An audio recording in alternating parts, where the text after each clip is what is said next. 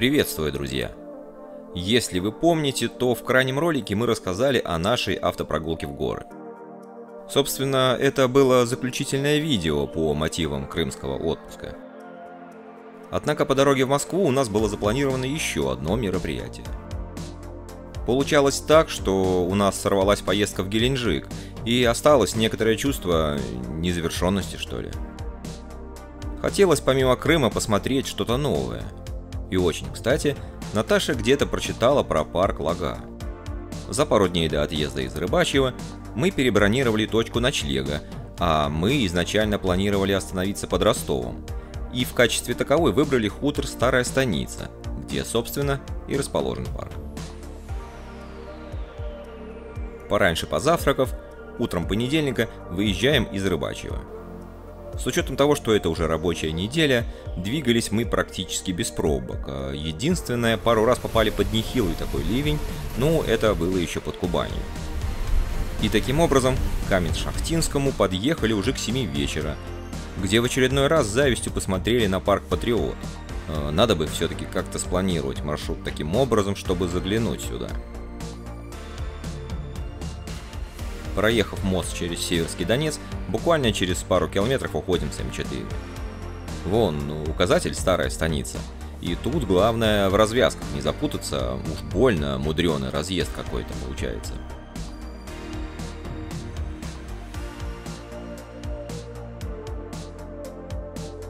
Все, почти приехали. Вон ориентир, скульптура «Донская казачка» провожает казака на войну. Дело в том, что место, куда мы едем, казачья станица. А если точнее, то здесь, на левом низменном берегу Северского Донца, с 1671 года располагалось поселение, впоследствии ставшей станицей Каменской, а затем городом Каменск-Шахтинским. Позже, с 1817 года, жители станицы стали постепенно перебираться на высокий правый берег, где город и стал развиваться дальше. В качестве ночлега у нас забронирован номер в гостевом доме Юг. Ну, номер показывать смысла нет, там ничего особенного. Да и не за этим мы сюда приехали. Давайте сразу отправимся в парк. Тем более, что мы так и сделали, как только вещи из машины вытащили. Парк поражает своим размахом и красотой, а особенно очень эффектно он выглядит вечером, благодаря подсветке. Кстати, работает он с 8 утра до полуночи, так что у нас сегодня еще полно времени. Кроме того, мы также и утром, перед тем, как отправляться в путь, часик тут еще прогулялись, чего и вам советую. Ну, в смысле, посетить это место и утром, и вечером. В общем, свой рассказ я буду сопровождать винегретом из того, что мы наснимали в темноте и при свете. Итак, поехали. Ну так вот, первое, что хочу отметить, это то, что парк является примером современного садово-паркового искусства, при этом создан в славянском стиле. Да, такое ощущение, что знакомые персонажи, благодаря создателям парка, сошли со страниц детских сказок. А вот избушка на курьих ножках. Какой-то кощей чахлый. Видно, насколько грамотно и продуманно реализована концепция непосредственно в части ландшафтных работ, я имею в виду проектирование и создание. При этом тут очень красиво как днем, так и вечером, а благодаря потрясающе грамотно встроенной системе фоновой и точечной подсветки – а еще звуковое сопровождение, ну прям очень в тему. Потрясающая фоновая музыка с хорошим качеством акустики и правильно расположенными динамиками. То есть полное ощущение присутствия, как будто музыка вот вокруг не перекрывается, ничего. Очень здорово.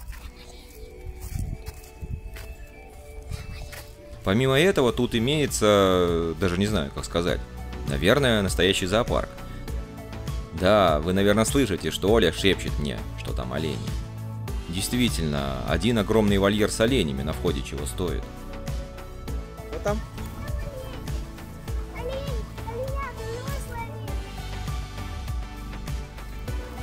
Ух ты, какие пятнистенькие оленчики. Какие, смотри.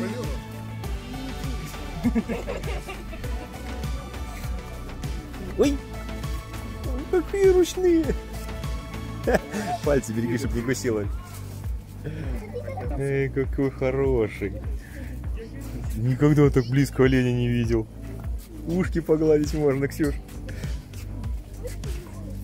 О, привет. Они вообще ну, даже не такие ручные. Ой, я тоже хочу потрогать. Привет. Ой, Че, пацаны, как дела? Или вы девушки? Я в оленях не разбираюсь, честно говоря. А чуть подальше находится птичий двор, где помимо пернатых, тут представлена еще и прочая забавная живность. Пони, ламы, еноты, сурикаты. О, какой идет. Эму. Кеша хороший, скажи. А он такой красненький, красивый. Такие нахохлившиеся. Курчавые куры. И смотри, пушистики. Капец он маленький. Как собака. Это живая? Какая несуразная конструкция. Он стриженный или такой на самом деле есть? Ты лапами так на, на- на месте, такая тандаранда дан дан на месте лапами гребет тандаранда. Ух ты, задом плавает. Полощет что-то тандаранда дан дан дан. Как он полощет потешно, А смотри. завтрак у енотов. Ай, смешные. Слушай, они как эти самые Angry Birds звуки издают. Капец они потешные. Че, пацаны, давайте. Ох, ух ты, ты, дерутся. Возмущается что-то. Вот тут, по-моему, говорил вчера. Что-то там. Опа, Да, Ай, да. какой ты красивый. Здорово, пацаны, он говорит. Как дела? Ой. Ого. Ой, какой ты красивый. Вот какая красота в виде белок. Тын-таран-та-тан такие. О, белки какие всякие пушистые, смотри. В общем, зависнуть здесь можно не на один час. Звери настолько дружелюбны и активны, что не замечаешь, как летит время. А это смесь кролика и оленя. Ух ты. Решил познакомиться? Привет. Да, вот это чудо чудное, диво дивное. То ли То ли кролик, то ли олень. А на самом деле это патагонская мара. Грызун из семейства свинковых. А, то есть это... Получается, этот забавный зверек ближайший родственник морской свинки. Да? Вот, я хочу как морская свинка. Патагонская мара. И что особенно хочу отметить, абсолютно отсутствует неприятный запах, который всегда есть в подобных местах. Чувствуется, что тут очень тщательно убирают за животными. Да, я даже, если честно, не знаю, что тут еще можно добавить. Настолько все удивительно красиво. Я сейчас умру. Ну-ка, что здесь Света? Киса. Кусь, Сейчас кусать тебя запали. кусь, кусь может сделать. Я хочу потрогать его. А вот еще один. Эй, я его потрогал. Шерсть такая жесткая. Что тут дают? И чего не дают? Смотри, Таш, можно встать палец и потрогать его. Ой, потрогал. Два раза. Мне кажется, только в этом зверинце можно час провести. И опять же, можно обратить внимание, какое музыкальное сопровождение здесь. Просто хочется поставить и послушать. Древнерусские былины какие-то сейчас расскажут нам, да? Как вы думаете, что это? Это уборная. Представляете? Я бы, честно говоря, не смог сходить в туалет в таком прекрасном месте. Терпел бы. Слабовато для доспехов, да? Дрыщавый богатырь какой-то.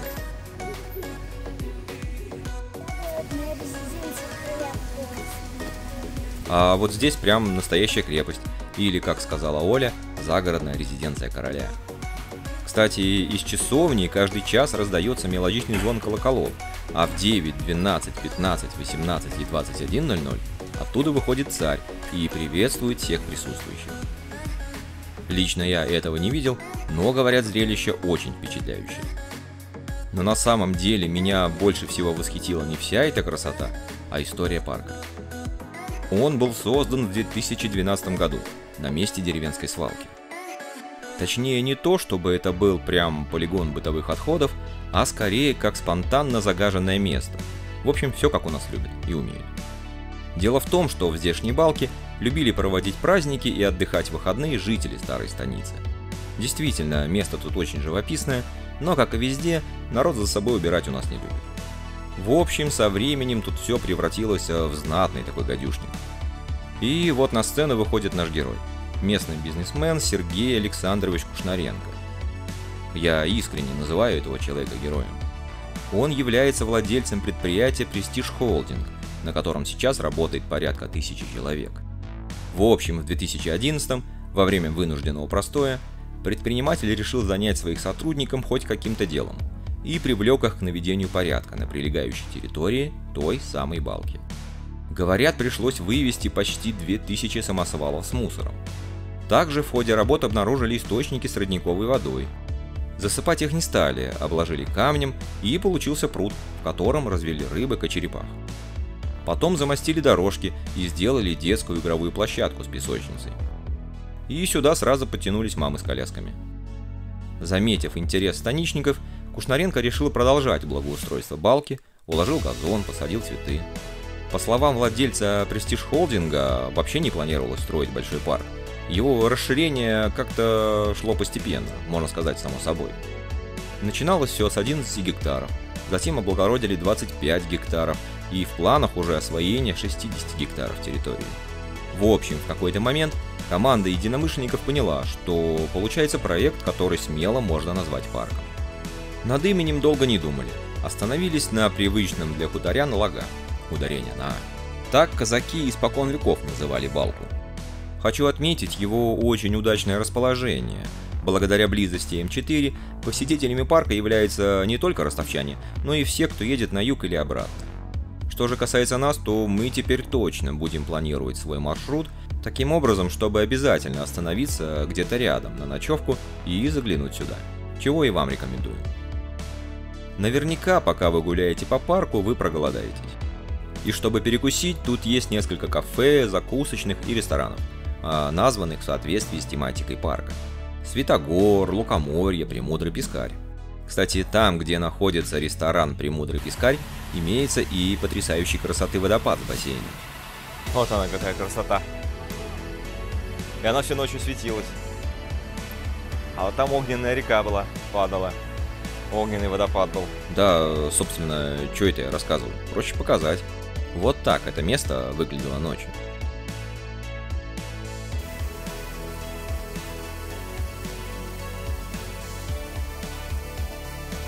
а на верхних карнизах, что расположены над кафе «Светогор», находятся огромные вольеры, в которых обитают, э, не знаю, горные козлы или кто-то из семейства полорогих.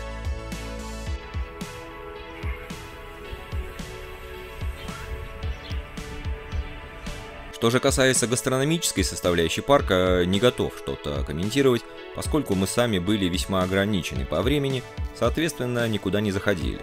Но вообще наиболее высокий рейтинг имеет ресторан Тетери. Ну а для тех, кто хочет отдохнуть семьей или компанией и приготовить обед самостоятельно, имеются отдельно отведенные беседки и зоны отдыха с мангалами. Только еще раз повторю, нужно помнить, что по сути вы здесь в гостях. Парк вас пригласил заботливый хозяин полюбоваться природой и отдохнуть. Какой хороший дружелюбный котик. Взамен же просит соблюдать всего несколько простых правил, причем изложенных весьма оригинально. Вот сию травушку-муравушку береги, ноженьками молодецкими не топчи. Три поросенка выросли и возмужали. Или э, не кормите живность заморскую, люд хуторской, ибо не ест она пищи людской. Кстати, по этой причине у меня нет видео полета над парком, а меня просто попросила охрана этого не делать, увидев, что у меня сумка с дроном на плече. Поэтому максимум, что могу предложить, это, так сказать, взгляд со стороны. Как я уже и говорил, утром перед тем, как двигаться к дому, мы решили еще раз заглянуть в парк. Благодаря этому я убедился, что хутор Старая Станица сам по себе уже находится в очень живописном месте. И немного полетав над рекой, надеюсь, я не помешал местным рыбакам, я вернулся к гостевому дому, где, прыгнув в машину, мы уже через 5 минут были на стоянке, что находится у главного входа в парк. Насчет количества машиномест не скажу, но стоянка достаточно вместительная. Думаю, места хватит всем гостям. Кстати, еще один вход находится левее, но парковочных мест там значительно меньше. Ну так вот, если заходить не с главного входа, то вот э, за той аркой вы увидите храм преподобного Сергия Радонежского. Сейчас он уже освящен и принимает прихожан. Расположен он на небольшой возвышенности, которой через многоуровневые террасы ведут ступеньки. Я после покупки своего дома теперь прекрасно осознаю, как это все не просто создается. Это при условии, что у нас участок всего 6 соток. Поэтому у меня в голове не укладывается, сколько сил и средств тратится на поддержание этого чуда. Про создание я вообще молчу.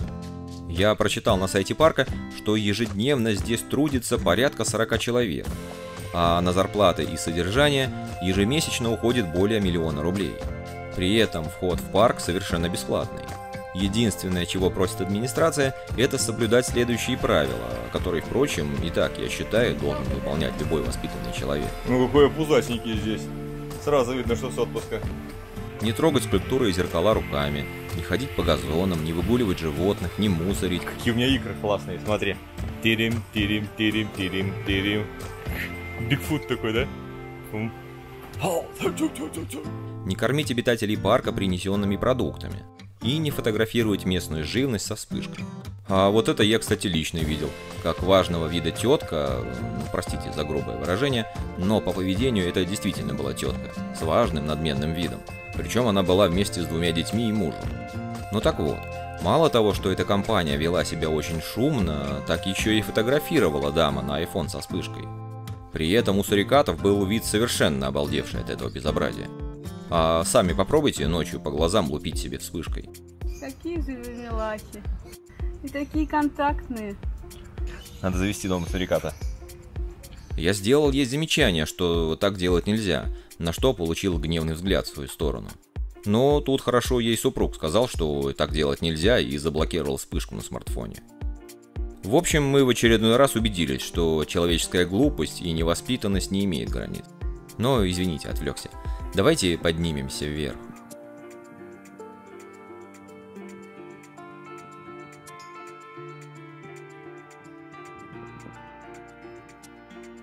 Да, отсюда отлично видно, что строительство в самом разгаре. Осваиваются новые площадки, Диснейленд. обустраиваются имеющиеся. Да, скорее всего, будет русский Диснейленд. Ну, точнее сказать, в русском стиле. Действительно, несложно заметить, что развитие парка не останавливается. Планируется дальнейшее расширение территории, строительство аквапарка, зона аттракционов, э, вон видно уже стоит колесо обозрений, и гостиницы. А вот это очень актуально. В станице не так и много мест, где можно остановиться. В общем, я уверен, что если у хозяев все выйдет так, как они и планируют, это будет грандиозное место. Кроме того, отдельно хочу отметить вот что. Я много где встречал комментарии, когда искал материал для этого ролика, что автор проекта на самом деле никакой не герой и вообще не является бескорыстным человеком. Просто вместе с группой инвесторов он работает над очередным бизнес-планом по созданию парка развлечений, единственная цель которого не доставлять людям радость, а исключительно получение прибыли. Даже не собираюсь спорить на эту тему, несмотря на то, что я в корне не согласен с этим. Да пускай так. Главное не в этом. Радует то, что, оказывается, есть у нас предприниматели, которые вместо покупки шикарных яхт, вилл на лазурном побережье или футбольных клубов вкладывают деньги в развитие своей родины. Причем особенно здорово, что это не единственный случай. Я не раз встречал в сети информацию, что какой-то бизнесмен на безвозмездной основе вкладывает личные средства в значительном объеме для улучшения качества жизни в родном регионе. Ими создаются городские парки, детские студии и школы. Возрождаются храмы, а иногда целые деревни. Слушай, удивительно, как можно много сделать, когда у тебя есть возможность, деньги и время. В общем, честь и хвала таким людям. Потрясающе, конечно. Сергей Александрович, если вы вдруг посмотрите это видео, огромное спасибо вам и всей вашей семье. А насколько я понял, сейчас действительно вся семья работает над этим проектом и прежде всего ваш сын Евгений. Ну а мы, дорогие друзья, прощаемся с вами. В следующем видео приглашаем вас отправиться в путешествие по Санкт-Петербургу и Ленобласти. Понятно, что в один фильм это будет сложно уместить, поэтому планируется большой ролик и несколько коротких клипов. А сегодня всем пока, до новых встреч!